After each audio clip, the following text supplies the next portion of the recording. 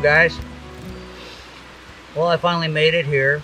Um, I hiked down the tracks uh, for about an hour uh, to get to this spot, came down the hillside, and I did slip, as I tend to do, and uh, anybody that's uh, done some hardcore fly fishing, uh, especially for brook trout, uh, they're not always easy to get to.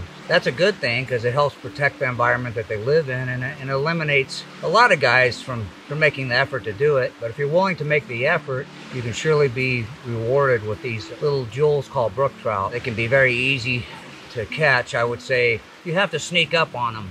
So that's a difficult part is always maintaining a, a low profile and poaching them in the correct manner. But if you deliver enough, I should say deliver a good cast, you got an attractor fly on, you know they're gonna they're gonna eat it most of the time probably nine times out of ten especially uh, this time of year. It is uh, september 5th 2020 we're in autumn we're heading into fall and i'm not sure if they'll have their fall colors on yet if they'll have those nice bright red bellies that they get.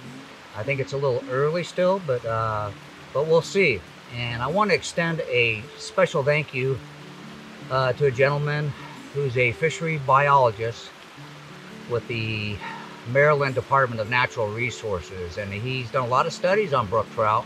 And I was actually able to get him on the phone, and he was kind enough to direct me to this stream, this little creek.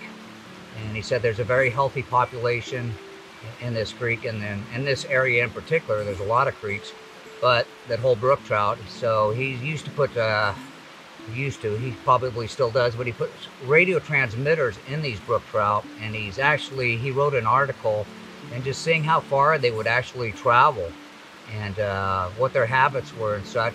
And uh, pretty interesting article.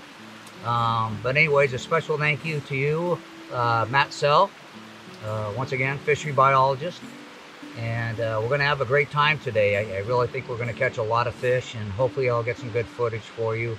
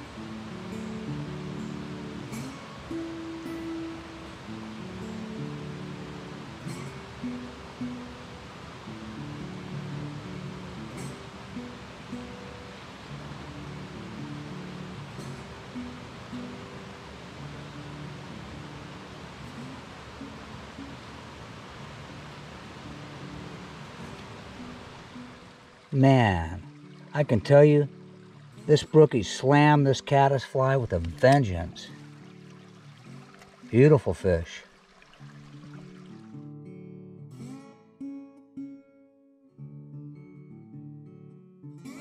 So this is what I love about brook trout fishing. Um, like said, you get the fly to them without spooking them, uh, they're very opportunistic and nine times out of ten, like I said, they're not selective. They're, they're gonna they're gonna take that fly. The, but the whole key is is just keeping a low profile. Now we have a gradient stream. It, it's coming down, so it's descending, and there's kind of like plunge pool after plunge pool. What's neat is you can stay in the bottom plunge pool and cast above to the top one, uh, virtually uh, undetected. So that is one of the benefits of uh, fishing a gradient stream, and uh, the, the, results are pretty good. I'm, I'm going to turn the camera around, and what I'm going to do is I'm going to sneak on out there my my hip waders, my trusty hip waders, and uh, I'm to stay below the pool. It's actually on top. You can, you can see that pool on top.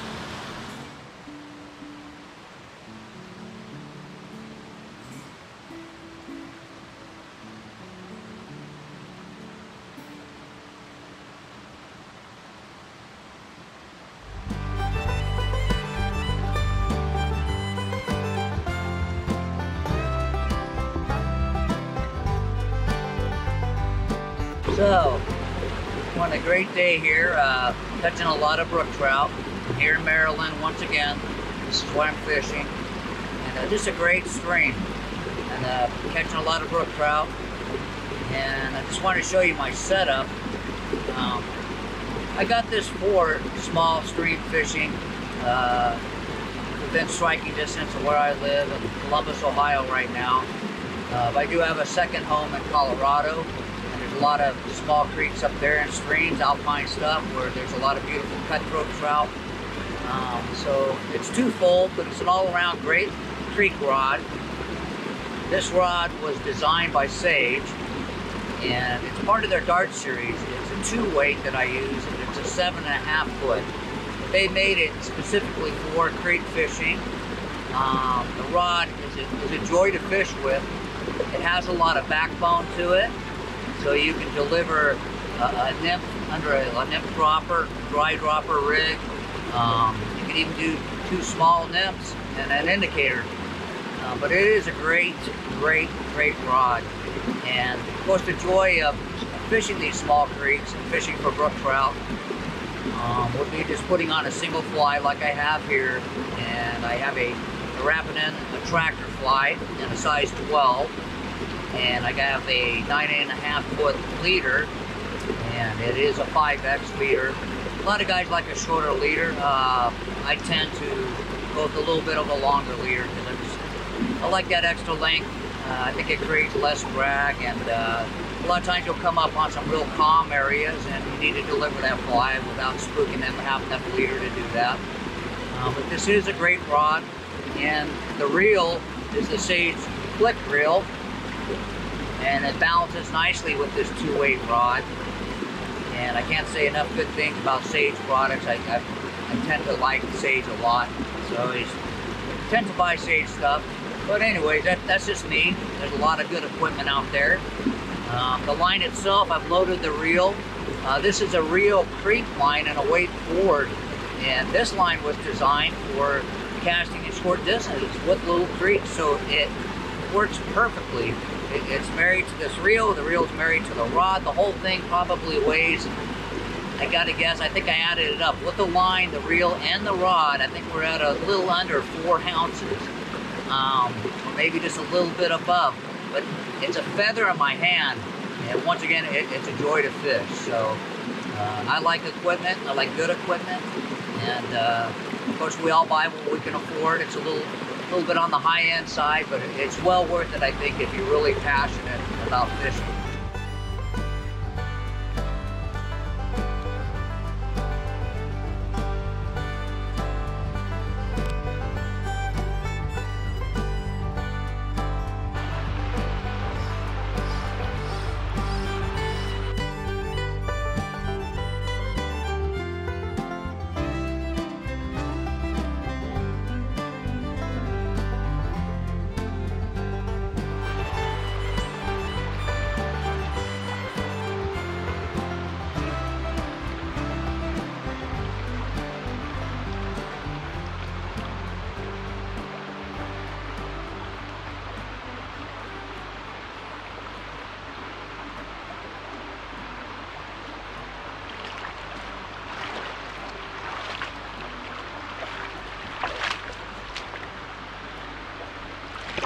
Here's the reward.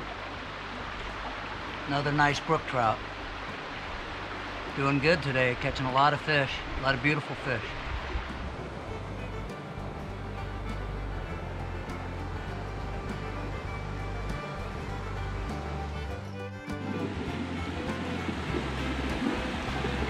And once again, I want to uh, just reiterate the environment that these brook trout like. They obviously like cold water uh, brook trout like really cold water.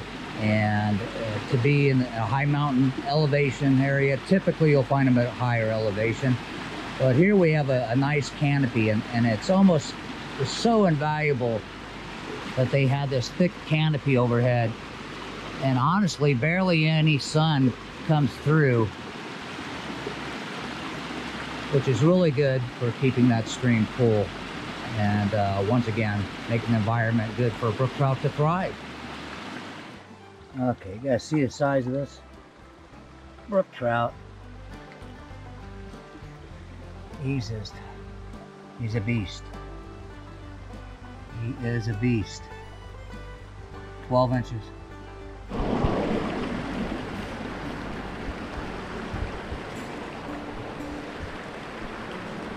Let's go ahead and uh, let's go ahead and talk about a little bit about uh, how I'm dressed on these brook trout streams. Uh, they're relatively relatively shallow.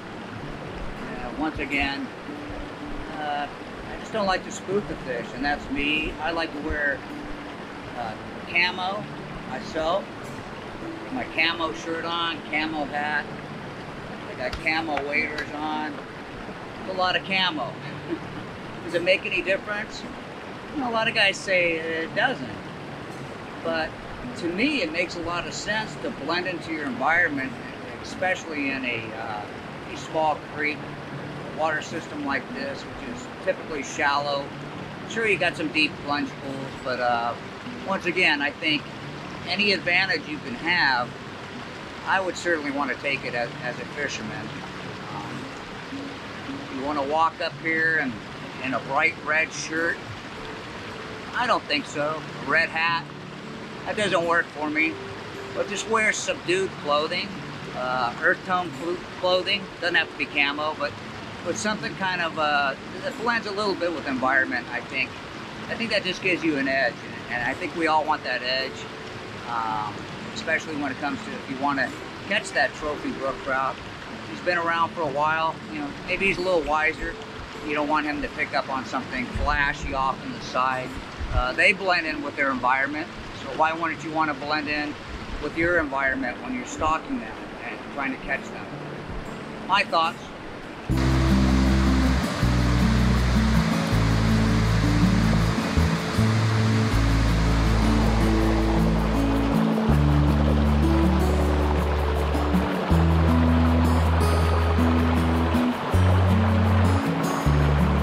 Okay guys, uh, looks like I'm pretty much, uh, I'm done for the day. I'm exhausted, pretty tired, and uh, been fishing all day and caught a lot of brook trout. I do want to thank you for joining me. This is my first show, and I hope to do some more shows. And uh, it was very eventful. Uh, beautiful country here, and I just got to figure out how to how to get out of here now. So it's, it's hillside behind me really steep. It doesn't look too inviting. And if you can see this behind me, there's a big culvert coming out of here. That big pipe is draining into this big pool here. And I caught some fish out of this pool, uh, which was nice to end of the day. And well, that's about it. I, I don't know what else to say, but thank you so much. Uh, keep fishing. Uh, it's a great thing to do uh, especially right now with this uh, virus and everything. Um, what better social distancing than get out in nature and uh, enjoy yourself and take it in. It, it really, uh, it truly washes the soul. Thank you so much once again. My name is Greg Smith, and take care. Till next time.